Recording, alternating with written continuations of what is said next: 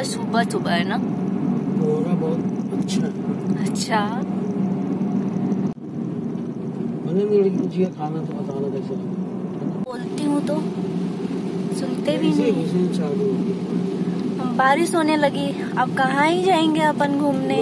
घूमेंगे पैदल भीगते भीगते एंजॉय करेंगे। हाँ।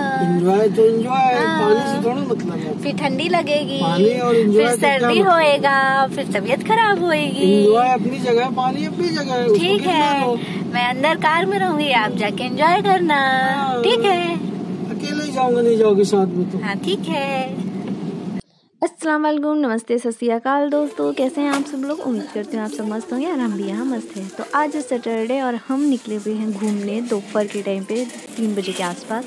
लेकिन मौसम बहुत ख़राब था और बारिश होने लगी अचानक से। तो फिर हम तो कहीं घूम पाए नहीं तो फिर हम मनगढ़ गए हुए थे तो वहाँ पे हमने सोचा चलो ठीक है ग्रॉसरी शॉपिंग ही कर लेते हैं। तो फिर हमने ग्रॉसरी शॉपिंग किया, फिर उसके बाद बारिश थोड़ी देर के लिए रुका तो वहीं पे पास में पार्क था, हम लोग वहाँ चले गए थोड़ी देर के लिए। वहाँ से आने के बाद कुछ खाने का मन किया तो फिर हम, मैं तो स्ट्रीट फ़ूड लवर हूँ भाई तो फिर मैं चाउमीन और अपना पानी पूरी वगैरह खाया। उसके बाद मुझे ना काफ़ी दिन से पनीर टिक्का खाने का मन कर रहा था तो हम लोग रेस्टोरेंट गए, वहाँ पे पनीर टिक्का मैंने खाया। मैं वेजिटेरियन हूँ, मेरे हस्बैंड नॉन वेजिटेरियन हैं तो उन्होंने अपना खाया बिरयानी वगैरह।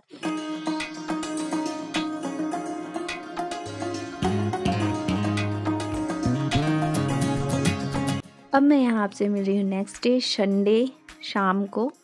तो यहाँ पे मैं आ गई हूँ डिनर बनाने और आज बढ़िया सा डिनर बना रहे हैं हम। विंटर स्पेशल फ़ूड समझ लीजिए। तो इंस्टेंट गाजर का हलवा और मिक्स वेजिटेबल तो यहाँ पे मैंने कुकर में थोड़ा सा घी लेके गाजर को डाल दिया और चार, पाँच से छः मिनट के लिए ना अच्छे से भून लिया और उसके बाद फिर उसमें थोड़ा सा दूध ऐड करके थ्री विशल्स ले लिए मैंने।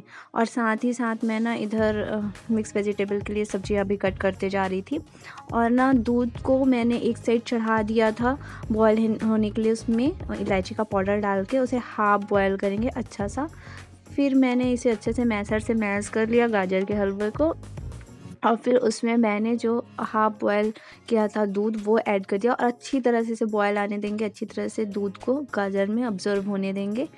फिर इधर मैं पूरी सब्ज़ियाँ कट करी थी, जिसमें शिमला मिर्च, गोभी बीन्स गाजर, मटर। घर में जितनी भी सब्ज़ियाँ अवेलेबल थी ना, मैंने वो सारी चीज़ें कट कर ली हैं। आप भी जो भी ऐड करना चाहते हैं, आप वहाँ पे ऐड कर सकते हैं, आपको जो भी सब्ज़ी पसंद हो। यहाँ पे एक अच्छा सा बॉयल आ चुका है हलवा में, और गाजर।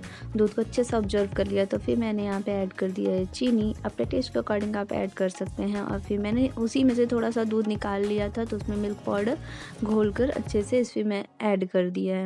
यहाँ पे आपने खोवा ऐड नहीं किया है, फिर भी मिल्क पाउडर से ना इतना अच्छा टेस्ट आता है, जैसे कि खोवा ऐड किया है। फिर मैंने यहाँ पे ड्राई फ्रूट्स जो फ्राई किए थे, वो भी ऐड करते थे। तो बस गाजर का हलवा बन के तैयार है। अब हम जा रहे हैं मिक्स वेजिटेबल बनाने।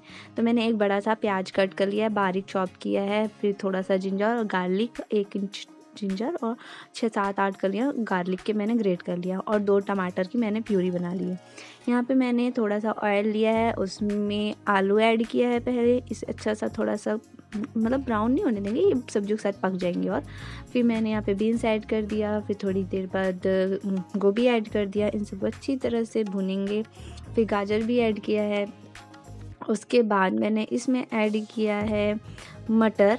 और फिर इन सबको अच्छी तरह से चला लेंगे, अच्छी तरह से थोड़ा, थोड़ी देर के लिए भून लेंगे, फिर इसमें ऐड किया शिमला मिर्च और फिर थोड़ा सा प्याज मैंने कट किया था वो। तो ये सब चीज़ों को अच्छी तरह से फ्राई करने के बाद इन्हें निकाल लेंगे हम। फिर हम चलिए, चलते हैं मसाला प्रिपेयर करने। तो मैंने उसी ऑयल में जो बचा हुआ ऑयल था, उसमें थोड़ा सा जीरा ऐड किया और जो बारीक प्याज कट किया था वो और ग्रीन चिली उसके बाद मैंने यहाँ पे जिंजर गार्लिक भी ऐड किया। इन सब अच्छी तरह से भुनेंगे जब तक कि उसका कच्चा फ्लेवर ख़त्म ना हो जाए। फिर मैंने यहाँ पे ऐड किया हल्दी, काश्मीरी लाल मिर्च पाउडर और टमाटर का प्योरी। अब इन सबको अच्छी तरह से हम भुनेंगे।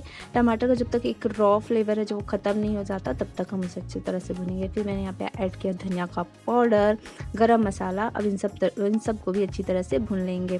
फिर मैंने सॉल्ट ऐड कर दिया और किचन किंग मसाला। इन सबको भी मसाले के साथ अच्छी तरह भून लेंगे। फिर मैंने इसमें ग्रीन चिली ऐड कर दिया है। फिर मैंने ऐड किया यहाँ पे काजू पेस्ट देखो ये टोटली ऑप्शनल है। आप चाहे तो ऐड कर भी सकते हो और नहीं भी ऐड कर सकते हैं। देखो यहाँ तक आप पकाएँगे तो वो ढाबा स्टाइल है।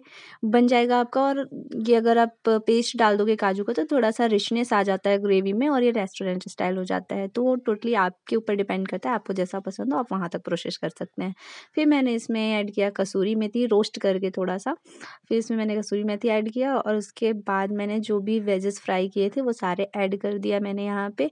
और उसके बाद मैंने इसे ढककर थोड़ी देर के लिए पकाया। थोड़ा सा हल्का सा पानी ले, डालकर मैं वो क्लिप मिस हो गया मेरे से।